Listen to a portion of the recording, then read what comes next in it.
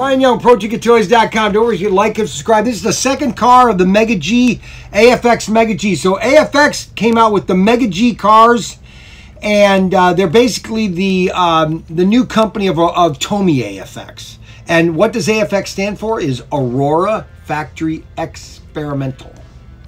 Experimental. Because in the 80s uh, or in the 70s, Aurora was going through experimentals, and they came out with this new chassis called the uh, the Mega, the Mega, or no, the Ultra G. Um, yeah, the Ultra G. They it's called Super Two. They had Super Two then, um, but they were trying all sorts of different type of chassis. Um, and so uh, AFX just went to one extra level, and they came out with this series, or uh, Race Masters did. This is the, I think it's this is the Peugeot or the uh, Renault. Doesn't say on here. I think this is the Peugeot. If it's wrong, you can correct me in the notes. But basically, this is the Super G chassis. I'm not opening every single one of these Mega G cars because I'm going to be getting samples next week. I just want to let you know what we have.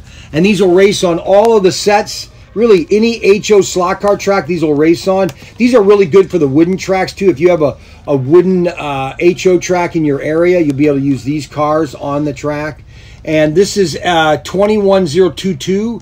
Race Masters 21022 is the item number. Okay, and there's basically 12 cars that we have available.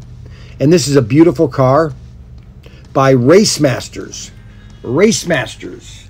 This is your pinnacle types racing. They're more expensive than the Auto World cars, the Xtraction cars.